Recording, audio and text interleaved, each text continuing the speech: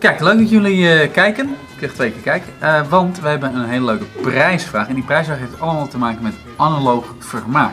En ik pak even de schaar erbij. Want jullie moeten namelijk knippen en de plakken. Eh, en ik, we gaan eerst even een bruggetje maken naar de nieuwe Powerlinten. Die hebben we natuurlijk allemaal in huis. En eigenlijk moet je er deze maand twee kopen. Dat is leuk voor ons. Twee zware tijden. Maar als je er nog één koopt, dan kun je namelijk, heel leuk, deze Facebook-actie of Twitter-actie van Creed Black Flag doen.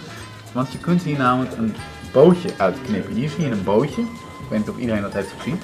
Hier zijn stippenlijntjes. En dan moet je zo met een schaar, zo ziet dat eruit, een schaar. Ik denk dat je moeder nog wel ergens een in een la heeft zitten. Of misschien je grootmoeder. En dan kan je zo knippen. Kijk, ik doe dat nu. Maar dat moeten jullie... Eigenlijk moet je dat dus doen in, in de tweede pu die je hebt.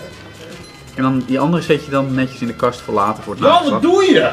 Zit je aan de puur te knippen? En dan kun je een mooi bootje vouwen. En dan moet je dan volgens mij via hashtag Assassin's Creed 4 Jackdaw. En dan moet je dat delen via Twitter of Facebook, Instagram. En als ik Ubisoft een beetje ken, dan de leukste die krijgt vast wel een leuke prijs of zo. Ik ga ze wel even bellen en dan komt dat goed. Eh, maar dat knippen en plakken met papier, dat doet ons natuurlijk ook meteen denken aan een andere game. Tearaway. Tearaway is een van de PlayStation Vita pareltjes die ik denk nog niet bij iedereen heel groot op de radar staat. Hij komt eind november uit, uit mijn hoofd 22 november. Kan ook 20 november zijn. Eh, het is een heel leuk, eh, apart, een beetje Paper Mario-achtig avontuur. Het mooie nieuws is dat wij hier, tromgeroffel, trompet geschalpt, met deze prijsvraag, want het is een prijsvraag, mogen een PlayStation Vita plus de game weggeven. En als je die nou niet wint, dan hebben we ook nog twee gewone games los. Dus dat zijn eigenlijk twee troostprijzen. Nou, daar moet je natuurlijk wel wat voor doen. Eh, we willen lekker dat je gaat plakken en knippen en scheuren. En dat mag je op twee verschillende manieren doen.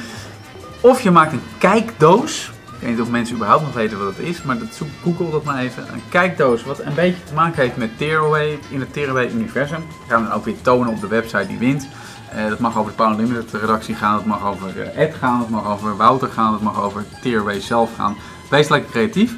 Of maak een stripverhaal eh, met papier en, en, en papier, wat iets met Tearaway te maken heeft. En, eh, in ieder geval, als het maar herkenbaar is, gewoon een pagina, zoals bijvoorbeeld Frame Drop. Alleen dan op zijn Tearaways en dan met papier en, en snippers en, en, dat soort dingen. Nou, niet zo dus, want zonde van het artwork, maar...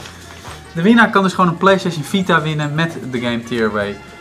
En als je die niet wint, dan ehm, hebben we ook nog twee keer gewone game te vergeven. En als je die nou ook niet wint, dan ga je dus even lekker dat bootje uitknippen van Assassin's Creed.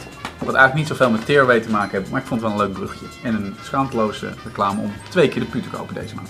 Oké. To be continued.